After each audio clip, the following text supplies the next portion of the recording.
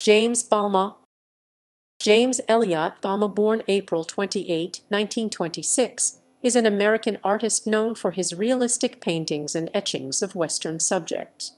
Life in Wyoming led to his comment, here an artist can trace the beginnings of Western history, see the first buildings, the oldest wagons, saddles, and guns, and be up close to the remnants of Indian culture. And you can stand surrounded by nature's wonders.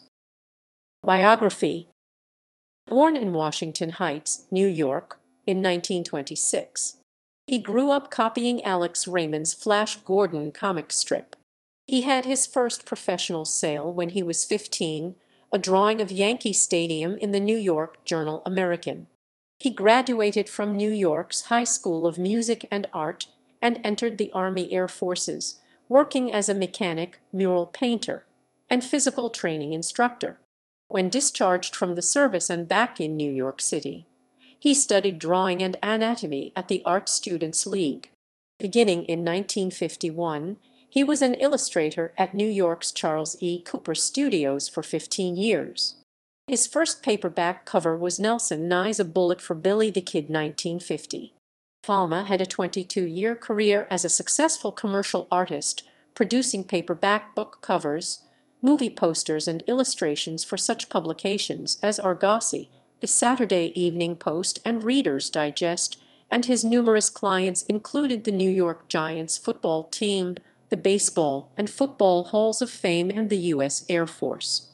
Beginning with The Man of Bronze 1964, he did a powerful set of 62 covers for the Doc Savage Bantam Books paperbacks, often using as a model actor Steve Holland, star of TV Flash Gordon 1954-55. He also painted the box cover art for Aurora's monster model kits, including King Kong, Frankenstein, Dracula, and the Mummy. In 1964, he married Lynn Klepfer, a New York University graduate with an art history major. Two years later, in June 1966, the couple headed west as guests of artist Bob Mayers at his Circle M Ranch near Cody, Wyoming. Mayers had walked out on his career as a successful Manhattan illustrator with such magazines as True and the Saturday Evening Post to run his ranch and paint. After return visits in 1967, the Bamas left New York. Bama began to paint contemporary Western subjects during the daytime while doing his freelance illustrations in the evenings. He recalled, I never came out here with the idea to be a Western artist. It just happened, and that's the way it should be. In 1970 Bob Mayers was murdered, and his widow Helen moved from the ranch. The Bamas moved to a house on Dunn Creek, Wapiti, 20 miles outside Cody, in 1971.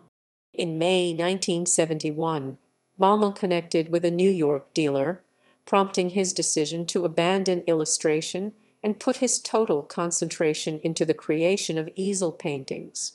In Wapiti, James and Lynn Bama built a home and studio, moving into it when their son Ben was born in 1977. His work is collected in the Western Art of James Bama Bantam Books, 1975, and The Art of James Bama, 1993. Brian M. Kane's James Bama, American Realist Flesk, 2006 has an introduction by Harlan Ellison. Style Bama's art is realism. He sometimes takes advantage of his medium to use lighting techniques such as butterfly lighting, that would not be practical in a photograph taken under ambient light. Awards Bama was inducted into the Illustrators Hall of Fame on June 28, 2000.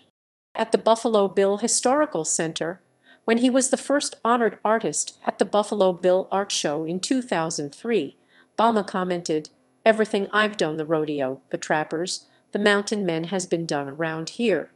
The fact that I'm from Cody makes this very significant to me. They are really honoring Cody and the Buffalo Bill Historical Center. He was inducted into the Monster Kid Hall of Fame at the Rondo Hatton Classic Horror Awards.